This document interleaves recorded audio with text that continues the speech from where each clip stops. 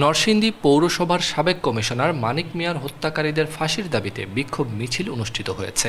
আজ সকালে কমিশনার মানিক মিয়ার পরিবারের সদস্য সহ প্রায় কয়েক হাজার এলাকাবাসী সমাবেশে অংশগ্রহণ করে। দুই হাজার এক সালের পহেলা জানুয়ারি নরসিংদী পৌরসভার সাবেক কমিশনার মোহাম্মদ মানিক মিয়াকে প্রকাশ্যে হত্যা করা হয়। ওই ঘটনায় দুই জানুয়ারি কমিশনার মানিক মিয়ার ভাই আমির হোসেন আমু বাদী হয়ে নরসিংদী পৌরসভার প্রয়াত মেয়র লোকমান হোসেন, তার ভাই কামরুজ্জামান কামরুল সহ ছয় জনের নাম উল্লেখ করে একটি হত্যা মামলা দায়ের করে।